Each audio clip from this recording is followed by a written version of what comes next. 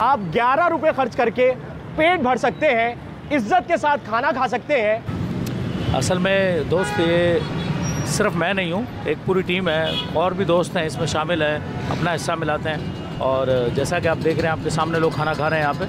तो यकीनी आपने सच कहा कि इतनी महँगाई के दौर में ग्यारह रुपये में खाना तो बहुत सारे लोग अपने तई वेलफेयर्स के काम कर रहे हैं। लेकिन मेरे जो एक होती ना कि दिमाग में लग जाना तो मुझे ये समझ में आया कि लोगों को खाना खिलाओ। अब हमारा पूरे हफ़्ते का वीकली मेन्यू होता है। आज बकरे का सालन है और कभी दाल गोश्त होता है, कभी कुछ होता है। अब ये वो खाने हैं कि जो आप नॉर्मली किसी होटल पे खाने के लिए जाएँगे तो सौ रुपया, डेढ़ सौ रुपया, दो सौ रुपया, अस्सी रुपये, इससे कम में नहीं आपको मिलेगा। आप खुद बता चुके हैं, पच्चीस रुपये का यहाँ पे पराठा है, पंद्रह रुपये का अंडा है, चालीस रुपये की चाय है और वो खा के भी पेट नहीं भर सकता।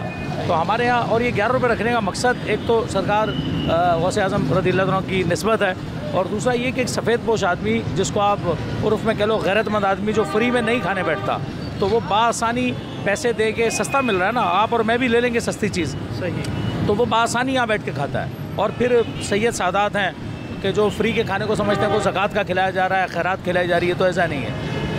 आज साजिद कादरी नातखा हमारे साथ है। तो हम सब ये मिल के टीम वर्क चल रहे हैं। बस तस्वीर मेरी लगी हुई है मैं चूँकि देखता हूँ। तो तस्वीर मेरी लगी हुई है तो ये ये जगह सर डिसाइड करना सर यहाँ 200 से 250 मजदूर दोपहर में बैठता है। आप कभी दोपहर में आपने विज़िट किया है यहाँ पे तो यहाँ मजदूर तबका बहुत बैठता है। अब उसकी दिहाड़ी आठ सौ रुपये पाँच सौ रुपये हज़ार रुपये है। आप उनसे डिटेल लें तो हफ़्ते में जैसे हालात चल रहे हैं कोई हफ़्ते में एक दिन काम कर रहा है कोई दो दिन काम कर रहा है। लेकिन जब वो दूर से आके यहाँ बैठता है तो दोपहर का खाना होटल पर खाता है। सौ रुपये उसके खाने के जाते हैं। तीन हज़ार रुपये मंथली सर उसका यहाँ खाने का वो एक टाइम में देता है। तो उन्हीं को देख के हमने मकसद हमें सोच आई कि कम से कम इनका दोपहर का खाने का पैसे तो बचा लें कि जो ये सौ रुपये में खा रहे हैं हम इनको ग्यारह रुपये के दें। पचास रुपये में पूरी फैमिली का खाना वो पार्सल ले जाते हैं। तो कम से कम खाने के उनके पैसे बचाएँ ताकि उनके ये बचे हुए पैसे उनके घर के दीगर मामला में काम आ जाए।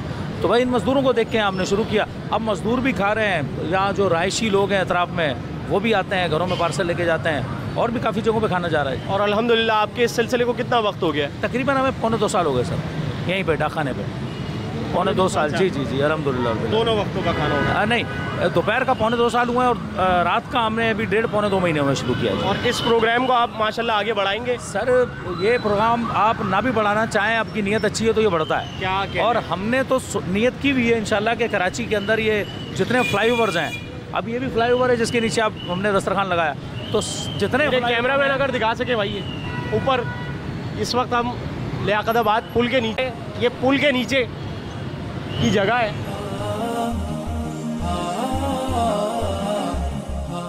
इस दस्तरखान को देखेगा तो उनसे गुजारिश है कि आप हमारे साथ ज़रूर इस काम में ताउन करें ताकि अगर ये काम आपको अच्छा लगे और मुझे समझ नहीं आती कि ये अच्छा क्यों नहीं लगेगा, नहीं लगेगा।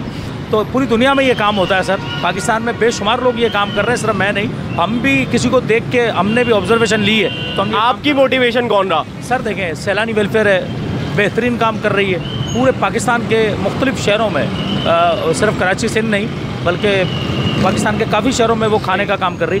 तो हम काफ़ी अरसे से उसको देख रहे हैं। वो भी है ऑब्जर्वेशन और भी दीगर एन हैं जो ये काम कर रही हैं। तो एक वहाँ से भी ऑब्ज़र्व किया लेकिन आ, हमारा काम का फैलाव इतना नहीं हमने सिर्फ़ खाने को फोकस किया हुआ है। सही सही। दीगर काम हम करते हैं लेकिन आ, कम क्वांटिटी में करते हैं। मेन हमारा जो काम है ना सर वो खाने का है। क्योंकि ये बुनियादी ज़रूरत है जिसको आपने हम तो छोटे से सुन रहे हैं ना रोटी कपड़ा और मकान। तो इसमें जो रोटी है ना सर हमने उसको फोकस किया जी सर। चले सर अल्लाह आपको इस मकसद में कामयाब करे।